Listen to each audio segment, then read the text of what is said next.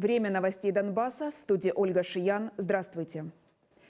Из градов ночью обстреляли украинские позиции в районе Светлодарска. Реактивные системы залпового огня были использованы впервые за последние несколько месяцев.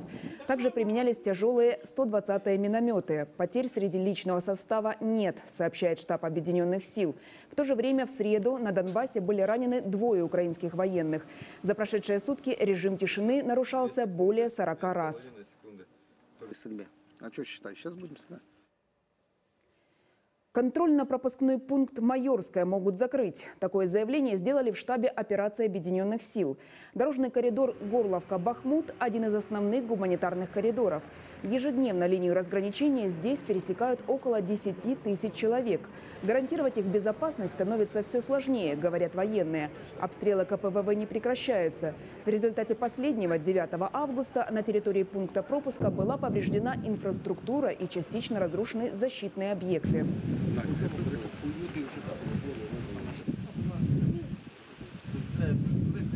Тільки вмілі дії водія прикордонного наряду е, врятували в нас від е, поранень. А броня Кугуара е, закрила до того ж автомобілі цивільних громадян, які на той час перетинали лінію зіткнення. Командувач об'єднаних сил вимушений буде звернутися до тристоронньої контактної групи щодо закриття КПВ Майорських у зв'язку з неможливістю гарантувати безпеку цивільному населенню.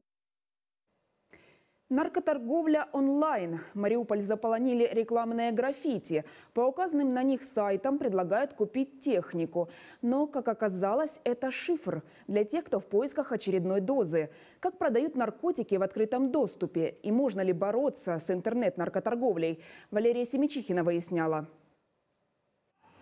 Шишки, бошки, фен, ниже адрес интернет-магазина, где все это можно купить. Такая, на первый взгляд, обычная реклама красуется на мариупольских зданиях, гаражах и асфальте. И в последнее время надписей становится только больше, заметила 19-летняя София. Больше всего я вижу надписи, когда спускаюсь на спуске к морю на левом берегу, и там они очень маленькие, и их очень много. Но тревогу забили общественники, утверждают, рекламируют уличные надписи вовсе не технику, а наркотики и работают указанные сайты в открытом доступе. В этом убедились и мы, проведя эксперимент. Этот сайт мы увидели в одном из уличных объявлений, зарегистрировались на странице и отправили сообщение. Через минуту нам ответили. Вот мы нажали на прайс. Тут нам предлагают амфетамин, говорят, безвредной бодяги. За 1 грамм просят 350 гривен, а вот 2 грамма уже дешевле – 600. Схема продажи наркотиков по интернету не новая, рассказывает Александр. Он был наркозависим 14 лет и сам покупал таким образом очередную дозу. Говорите номер бан- банкомата, сумма какая вошла, а вам потом приходит смс. Приходит фотография тебе. Вот, к примеру, район, да, и вот так вот дерево. Вот раз сфотографировано дерево, и ну, на фотографии крестик, где оно лежит, оно закопанное вот там. Опять же, закопанный пакетик, замотанный изолентой. Нам оплатить заказ наркоторговцы предложили через систему интернет-кошелек. Для подтверждения попросили сбросить фото чека в мессенджере. Вычислить дилера, который вышел с нами на связь, невозможно, говорят в полиции. Сайт, на котором он в открытую торгует наркотиками, зарегистрирован в Российской Федерации. Так что к ответственности привлечь можно разве что авторов дворовых надписей. Порушення 152, 152 статті це правила благоустрою нашого міста. Штраф дуже маленький і ніяк е, зв'язати з е, наркотиками це неможливо. Це тільки порушення благоустрою нашого міста. Якщо ми е, ловимо когось, хто причетний до цих злочинів, ми передаємо до слідчого відділу От наркозависимости Александр избавился 4 года назад. Он хорошо знает, к чему приводит употребление наркотиков. Они не только разрушают психику, говорит мужчина, но и часто становятся причиной смерти. Валерия Семичихина, Нестор Бондаренко, Елена Уланова и Сергей Чекрыгин. Телеканал «Донбасс». Магнитные бури вновь накрыли Землю. Уже сегодня эксперты фиксируют активность Солнца. Продолжится она несколько дней. В этот период возможны недомогания у метеозависимых людей, предупреждают медики. Как влияют геомагнитные возмущения на организм человека? Как уберечь себя, расскажет Елена Успенская. Ноги у меня, гляньте, по ногам сразу чувствую. ноги начинают щипать и чесаться. А потом еще и голова побаливает. Так пенсионерка Нина Константиновна переносит магнитные бури. Они уже обрушились на Украину. Сегодня и завтра, по словам экспертов, метеоколебания средней тяжести. Перебоев в работе техники не предвидится. Тут треба десь 8-9 балів, тоді воно може впливати, в принципі, на, е, ма- на зв'язок, на навігатор і таке інше. А вот метеозависимым людям стоит подготовиться. Магнитная буря даже малой интенсивности способна негативно влиять на организм человека, предупреждают медики. В этот период обострятся хронические заболевания у диабетиков и гипертоников. Во время магнитных бурь возникают вспышки на солнце, и поэтому э, люди так реагируют. Возникают головные боли, головокружение, тошнота. Человек может быть раздражительным, нервным. Под воздействием магнитного поля эмоциональной нестабильности подвержены даже здоровые люди. Просто когда происходят магнитные бури, те реакции, которые у него были бы и так, становятся более выраженными. У Елены Николаевны во время усиления активности солнца всегда под рукой лекарства. Как сказать, таблетки пью от давления. Сосудорасширяющие. Потому что давление высокое. Медики рекомендуют во время магнитных бурь не налегать на тяжелую, жирную и острую пищу, исключить алкогольные напитки и больше отдыхать. У людей с хроническими заболеваниями в период жары и магнитных бурь им поэтому нужно э, заблаговременно приготовить препараты, которые они принимают, не запускать э, лечение и сократить время пребывания на улице. Лучше обезопасить себя и взять отгул или выходной и переждать дома. Продлятся магнитные бури до 21 августа. Елена Успенская, Владимир Краснов, телеканал «Донбасс». Тугоухость четвертой степени. Серьезн- серьезнее только полная глухота. С такими осложнениями человек может отдаленно слышать разве что звук отбойного молотка или самолета. У четырехлетней Маши из Харькова проблема развелась после перенесенного менингита. Будет ли девочка разговаривать, остается большим вопросом. Ее история в нашем сюжете. И я ездили на машине. Чтобы разговаривать со своей четырехлетней дочерью, Елене пришлось освоить язык жестов. Приветствие, знакомство, добрый день, здравствуйте. Самое такое элементарное, ну, чтобы хотя бы можно было понять, как что. Еще совсем крохой Маша перенесла тяжелое заболевание – менингит, из-за чего потеряла слух практически полностью. Белым выделена тут область, э, речевой диапазон человека. Максимально это 60-65 децибел. Это сила звука обычной речи. У Маши потеря слуха 80-90, на некоторых частотах и более 90 децибел. Без аппаратов она может слышать только крик э, в самое, в самое ухо. Окружающий мир девочка воспринимает только зрительно. Общаться с другими людьми не может. Единственная ее компания – старший брат Коля.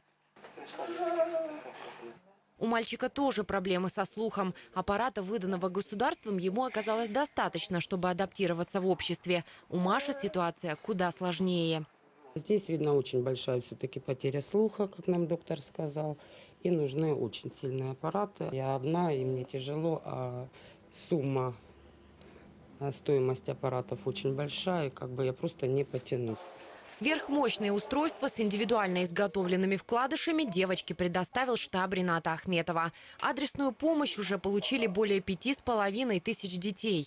Большое спасибо фонду вот, Ренату Леонидовичу. Моментально среагировали, слаженная работа. Вообще, ну, честно говоря, неожиданно. Даже еще от шока. Немного не можем отойти. Мы надеемся, что все-таки мы будем слышать. Первая настройка аппаратов для Маши непривычна. Это как после полной тишины вдруг оказаться в очень шумном месте. С каждым днем она будет все больше привыкать к окружающим звукам и со временем научится их повторять. Как будто она как бы родилась и на- начала заново слышать хотя бы год, чтобы больше стал словарный запас. С аппаратами она как бы, я думаю, сможет смотреть и мультфильмы, и слушать песни, а не только смотреть картинки на, на экране. Теперь мир для Маши заиграет новыми звуками, и она будет жить как обычный ребенок. Инна Жиленко, Анна Бравко, Игорь Лукашов для телеканала «Донбасс». Кому кризис, а кому и выгода. Турции резко упала местная валюта, а значит подешевеют сырье и рабочая сила, прогнозируют эксперты. Значит ли это, что на турецкие пуховики, платья и обувь на украинских рынках снизят цены? Выясняли наши корреспонденты. Последнее, что привезла из Турции. Комплекты с шортами, с капри, брюки. Екатерина разбирает новую партию товара, который купила дешевле, чем в прошлый раз. Один из турецких производителей немного снизил цены. Киевлянка надеется, что так поступят и другие. Вроде как намечается кризис, а, будет э, дешеветь сырье, а, будет дешеветь рабочая сила. То есть, а, и как бы ожидаем понижения процентов 15-20, то есть это, это очень хорошее будет снижение цены. Сниженные цены на турецкие товары украинский покупатель скоро увидит разве что у мелких оптовиков. Ведь крупные торговые сети подписывают контракты о поставках на год вперед. Контракти прописані скоріше за все або в доларі, або в євро. Тому до кінця року ми дійсно не побачимо якісь коливань, але все одно це буде відображатися вже в наступних контрактах на 2019 рік. А, І можна очікувати зниження вартості всього, що експортується а, м, а, з Туреччини. Однако продавцы одного из столичных рынков не уверены, что им достанутся подешевевшие турецкие товары. Значение имеет то, что это первые руки, вторые или третьи. Понимаете? Оттуда привезли в Одессу. С Одессы везут Киев. Это только прибывший товар. У турков цена на него пока не поменялась. Они не увеличили, не уменьшили. Только сказалось на моей. Потому что я уплатила дважды дороже за растаможку. И в Турции на местную лиру расчет не переводят. Там долларом все продается. Долларом 2 доллара, 2 доллара. Как можно подешеветь? Заметно только, что снизили цены на несезонную одежду. Ну, например, вот э, когда сезон продавали 3 500, ну, сейчас можно где-то 3 2 500 вот так продавать. Курточку, Да, там и закупка сейчас дешевле. Остальная продукция у поставщиков в основном наоборот подорожала. Вот эта рубашечка, если ну, в начале лета была 8 долларов закупка, теперь она уже 9 долларов закупка в связи с растаможкой, в связи с э, доставкой, все дорожает. По словам аналитиков, цены на экспортные товары зависят от рынка, на котором их продают. Поставщики одежды в Украину исходят не из того, сколько она стоит в Турции, а из того, за сколько они смогут продать ее здесь. Если из-за удешевления закупок у них появится возможность получить большую прибыль, они будут в этом только заинтересованы. Где живет доброта? Краматорские зоозащитники проводят флешмоб, приуроченный ко Всемирному дню бездомных животных. Он отмечается в третью субботу августа. Волонтеры и активисты призывают обратить внимание на проблему бездомных животных и их трагическую судьбу. Готовы ли помогать четвероногим краматорчане? Мария Сергеева знает.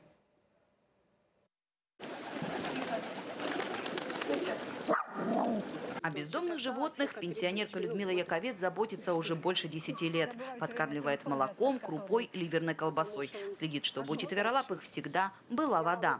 Говорят, ой, как ты любишь. Да не в любви дело, в сострадании. Они же тоже живые существа. Тоже ж... О, водичку. Вот не было водички. Где он попил? Бы? Краматорчанка признается, соседи поначалу не желали видеть в своем дворе бездомных животных. Потом привыкли и теперь сами иногда приносят для них еду. Мне даже крупы отдают. Вот, там старые крупы. Там одна бабушка, он с первого подъезда, и бульон отдает собачка. И будем кисик кормить, да? Годовалого Глеба мама начала приучать заботиться о бездомных животных, едва малыш начал ходить. Кормим уже, наверное, три месяца, как начали ходить. Потихоньку, за ручку. Сейчас он бежит сам и уже может держать пачку с кормом. Ему очень большое удовольствие это доставляет. Хочу, чтобы он вырос хорошим, добрым человеком, который кормит и помогает животным, а не палкой бьет. А недавно Глеб стал одним из первых и самых маленьких участников флешмоба «Где живет доброта».